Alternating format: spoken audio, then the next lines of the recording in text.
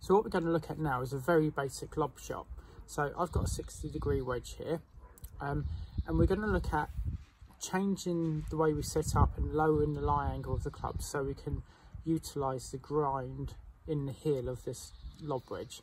Okay, so the grind is this area through the back here and that grind there um, helps determine what bounce there is on the, um, the club as well.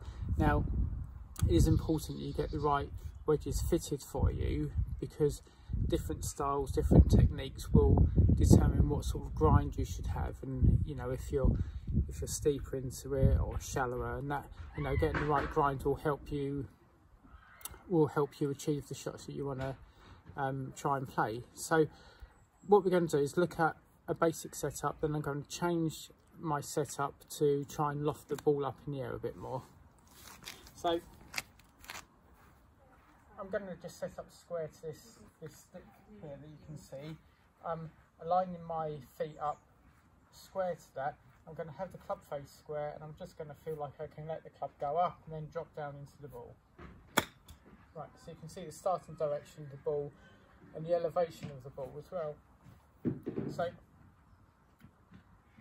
what we're going to look at is something called face plane tilt.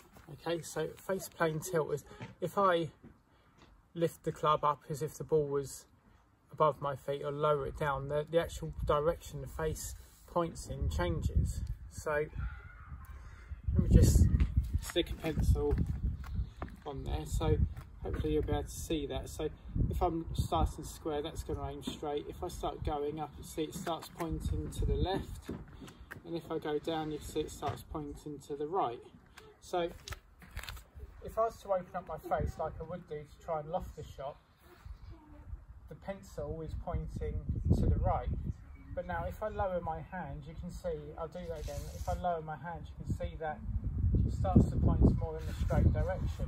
So simply, even with a square setup, my club face is pointing to the right.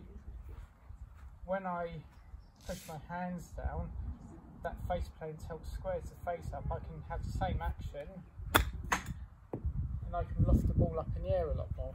So what we can do is we can adapt our setup slightly.